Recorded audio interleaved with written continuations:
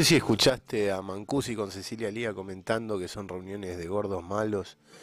eh, donde de ponerla ni hablar, eh, pero eh, parece que hay una constante, como un paralelo entre mi blog y mis vivencias y lo que la radio publica,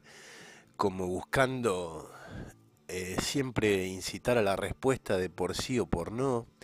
ya sea por ofendido, tocado o lo que fuere. Y, es, y más confesión de persecución y asedio que esa que hacen diariamente no hay. Pero el límite de los medios de comunicación y de los sectores políticos para intervenir en la vida de pareja, de familia, de amistad y demás, lo vienen cruzando desde hace años, así que no pretendas en, en absoluto que jueguen con armas lícitas ningún interés, porque eh, capacidad intelectual para hacer lícitamente lo que hacen ilícitamente desde la oposición y desde el oficialismo parecen no tenerla.